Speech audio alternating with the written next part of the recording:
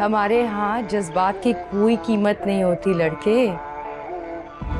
खुद को इतना अमीर करो। कि ये जो तुम्हारी शख्सियत के ऐब है ना, दुनिया को स्टाइल लगने